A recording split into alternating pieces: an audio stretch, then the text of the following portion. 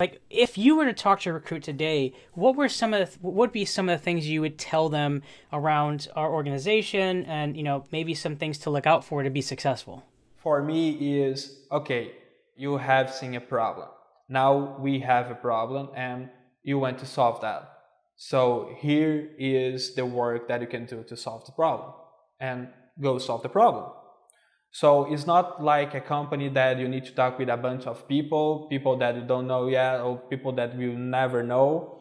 To they, then they will try to think about your problem, try to solve the problem. They will never reach out to you, and some someday they will say, "Okay, we solved the problem." Mm-hmm. And for me, is okay. We are in a company. We have a goal. We have a goal that is a company goal and you need to, to, to persist that. So let's work.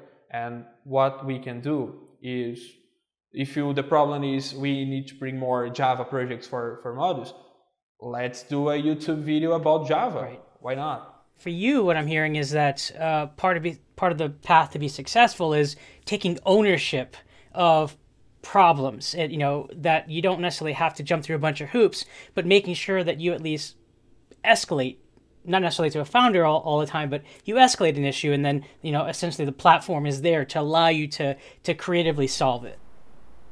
We can work together to fix a problem, so why not? Let's right. work on that. Absolutely.